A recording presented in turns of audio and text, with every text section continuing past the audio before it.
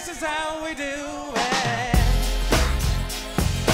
This is how we do it. La, la, la, la, la. This is how we do it.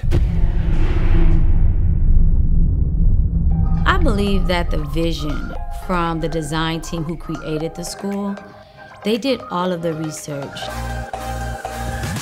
They walked and canvassed this community to find out what were the needs of the community. And they came up with three different small schools. They came up with the Critical Design and Gaming School, RISE, the Entrepreneurship School, and also CHAS is the Community Health Advocacy School. My role as the principal, as Hawkins is one comprehensive now, is to make sure that I build on their legacy, but also push Hawkins forward into its next journey.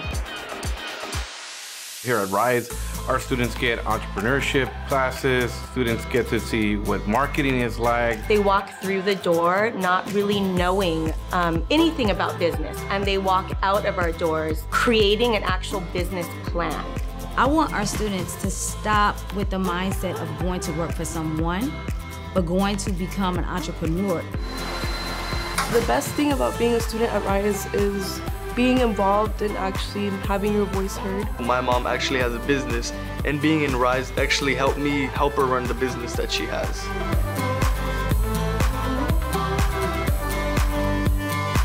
With the Community Health Advocacy School, students can come and connect to programs like the Urban Fellowship Program, also Urban Scholars. We just connected with MedCorps and Charles Drew University so that doctors would come from Charles Drew University to come mentor our students in the mental health fields as well as the medical fields. Just recently, we finished a big project called Homeless Not Hopeless. So we brought organizations to the school to make a difference. It's really important that the work that they do here doesn't just stay in the classroom, that when they go off to college, they come back and decide that this is the community they want to serve as well.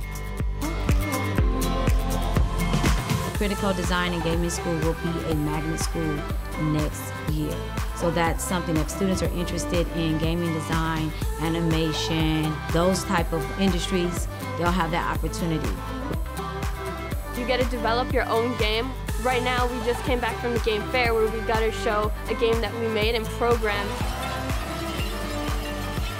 Now we are a school for advanced studies. So basically, a student that's gifted can come here and get the honors and AP courses that they usually don't have equity and access to.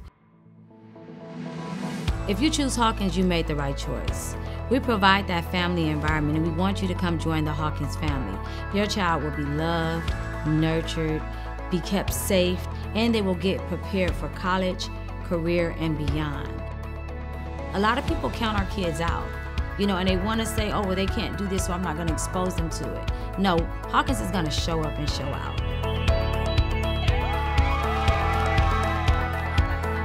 Hey Hawkins family, this is Principal Fordham, and I just want to invite you to join us here at Hawkins where we show up and we show out. Go Hawkins!